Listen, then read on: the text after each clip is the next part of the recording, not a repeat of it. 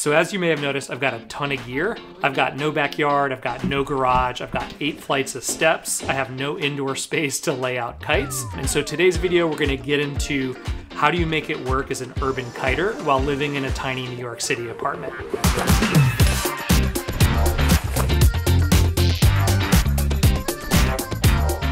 Cool, so the first thing is storage. I've got things stored throughout the apartment. The first place is my daughter's bedroom, so that's the nursery.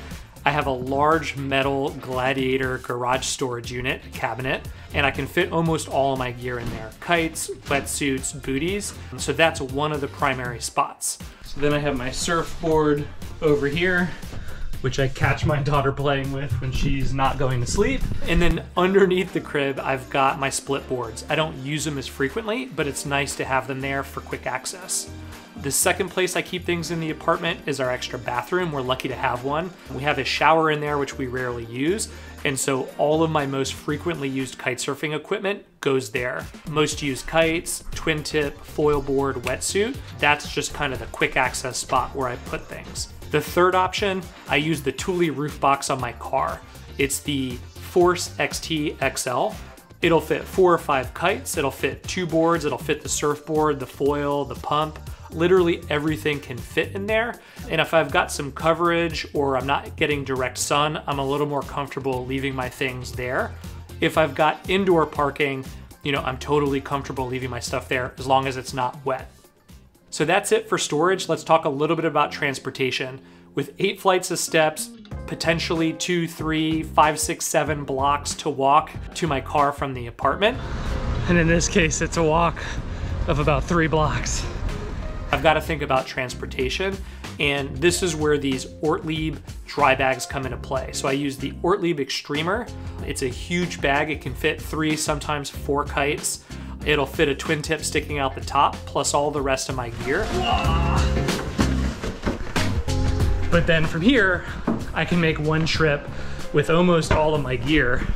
As a backup, I have a slightly smaller version of the bag that's got rolling wheels if I really need that. And then I mentioned the surfboard bag, but that's a roll top. So it, it can shift in size and I can put my twin tip in there with my surfboard or I can go kind of twin tip and foil, but I can get that over my shoulder while I've got the big dry bag on my back and that way I can make the trek.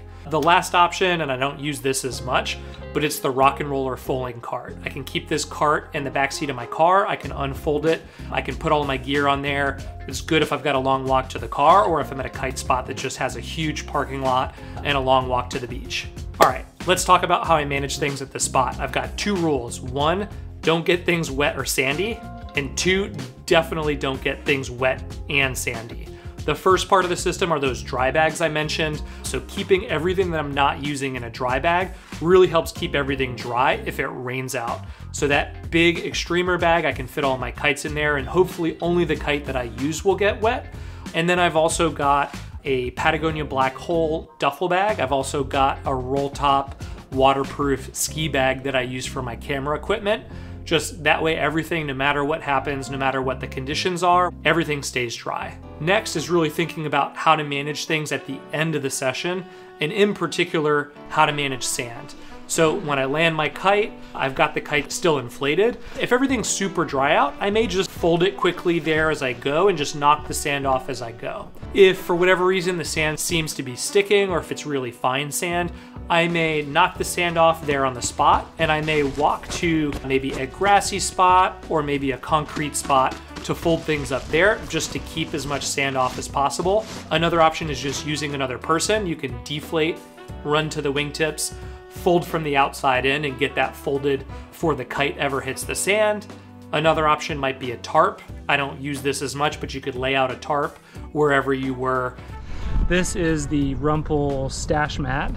And so it's basically like a tarp, uh, but it's less plasticky.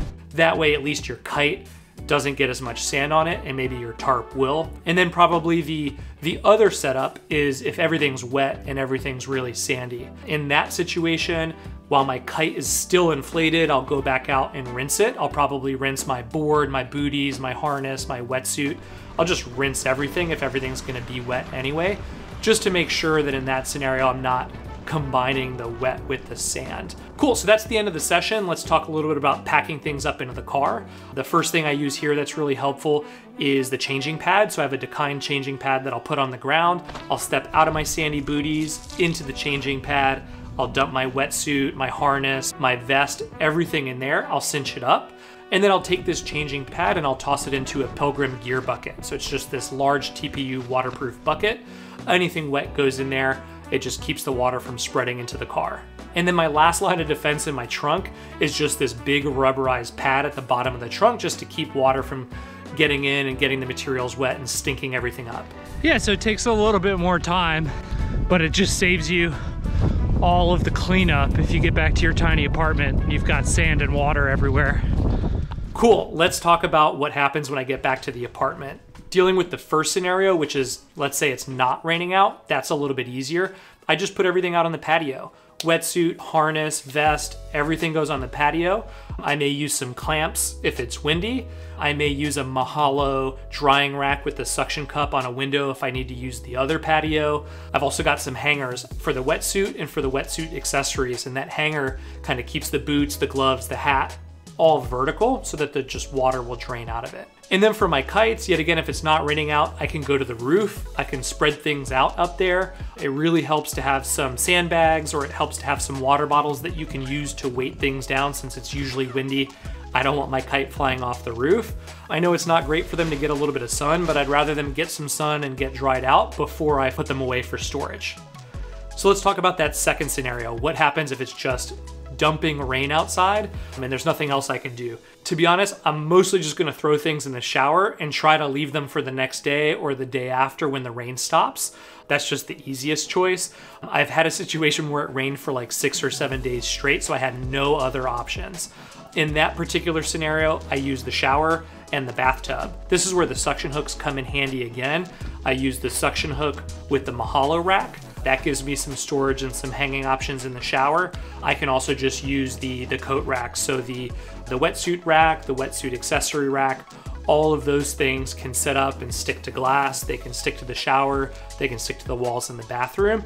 And I can get most things drying there. One extra tip here is I found a cheap USB Amazon fan. I can stick that in the neckline of the wetsuit to get some air circulating through the wetsuit. That'll speed up the drying process. Low, medium, high. And you can actually feel the air coming out the bottom. And then the absolute worst case scenario is that I have super wet kites and days of rain ahead of me. And so that's where I'm just gonna use the bath. I'm gonna take the shower rod, I'm gonna stick that in the middle of the bath. I'm gonna tension it up so that it holds that extra weight. I'm gonna throw the kites over the top. And then I'll throw a big fan in the bathroom just to circulate some air. But that's really the worst case scenario. Last bonus tip for those of you that just can't make the apartment work, if you have a studio and it's just way too small, you might want to consider an external storage unit. Cool, hopefully that helped someone out. Please give me a thumbs up. If you thought I did something stupid or if I missed an obvious idea, put them in the comments down below. And thanks for watching.